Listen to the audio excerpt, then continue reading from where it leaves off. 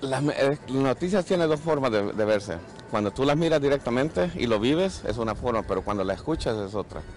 Es completamente diferente a lo que yo escucho de allá, que hay inseguridad y todo, y ya viendo aquí se mira la diferencia.